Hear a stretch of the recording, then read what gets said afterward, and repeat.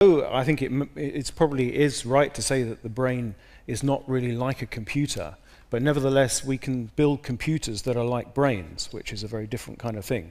So we can use computers as a tool for simulating brains and trying to understand them better.